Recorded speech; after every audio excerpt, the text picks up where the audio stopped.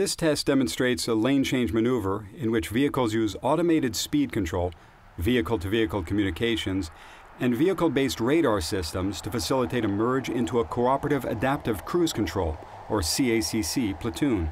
The driver's feet are off the pedals the entire duration of this demonstration.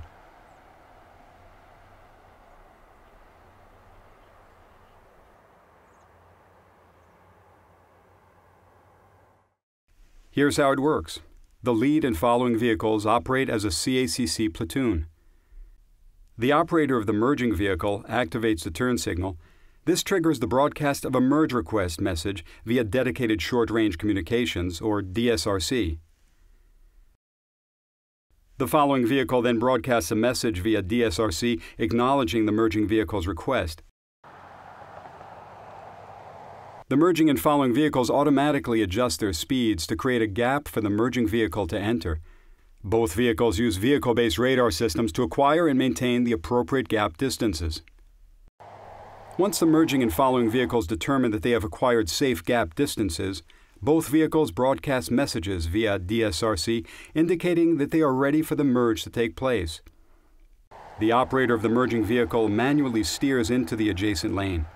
Then the merging and following vehicles broadcast messages via DSRC indicating that the merge is complete. The operator of the merging vehicle then disengages the turn signal and the three vehicles operate as a CACC platoon.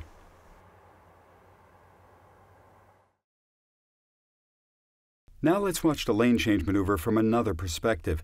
Each vehicle has an in-vehicle display indicating the status of the lane change maneuver according to the messages broadcast via DSRC.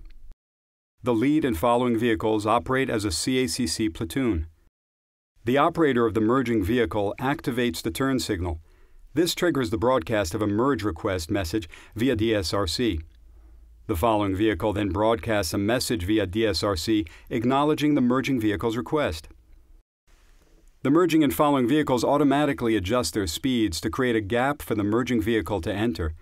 Both vehicles use vehicle-based radar systems to acquire and maintain the appropriate gap distances.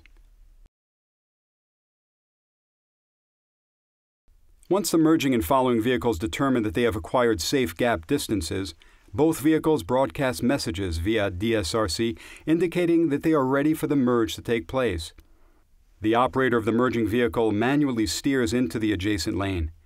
Then the merging and following vehicles broadcast messages via DSRC indicating that the merge is complete.